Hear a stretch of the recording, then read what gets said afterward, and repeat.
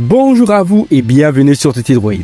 Je suis content de vous retrouver pour le test du jeu One Punch Man World sur mobile, qui sera bien évidemment sur iOS et Android. Si vous êtes fan de cette licence, si vous voulez découvrir le meilleur anime ARPG de 2023, il vous suffit de vous abonner, de donner votre avis dans les commentaires. On se retrouve à la fin de la vidéo. C'est parti.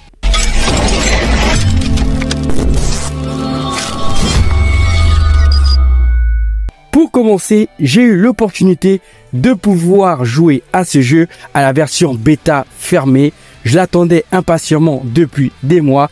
Je me suis fait enregistrer et en plus il fallait répondre à un questionnaire. La bêta fermée avait un nombre très restreint et j'ai eu la chance de pouvoir y participer. One Punch Man World est l'adaptation du célèbre animé du même nom. C'est un jeu chinois tout comme One Piece Fighting Pass. Il est ce qui se fait de mieux car il combine RPG et combat. En tant que jeu d'action aventure, les joueurs peuvent participer à des raids de boss PVE en coopération ou à des batailles PVP tout en explorant les lieux de l'anime. En y regardant un peu plus près, je m'attendais à un jeu à monde ouvert tel que Genshin Impact. Mais dans cette version bêta, ce n'est pas le cas. Pour l'instant, le jeu se rapproche plus de One Piece Fighting Pass que d'un Genshin Impact.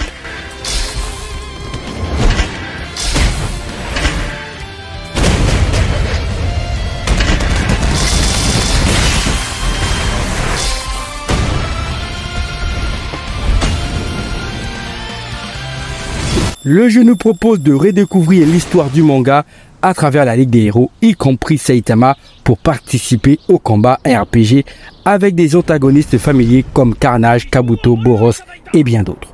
Vous pourrez également choisir vos personnages et les développer en débloquant plus de talents et d'équipements pour progresser davantage dans le jeu.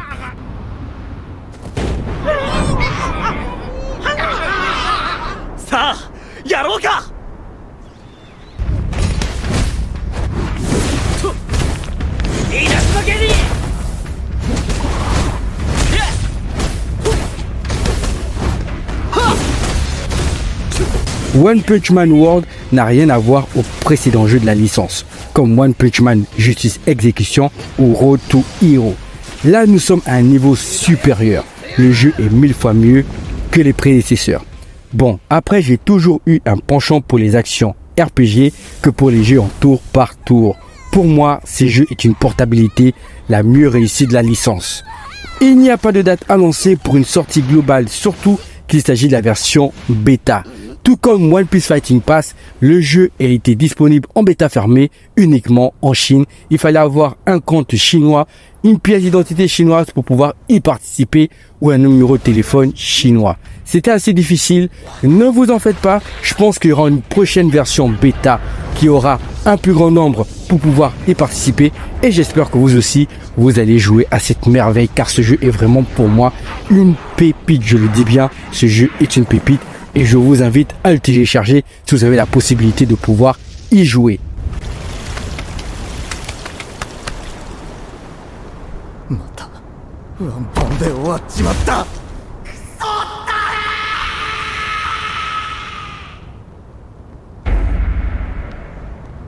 La petite vidéo est terminée, je vous invite à vous abonner, à activer la cloche pour recevoir les notifications et de mettre un pouce bleu. On se dit à la prochaine pour une nouvelle vidéo. video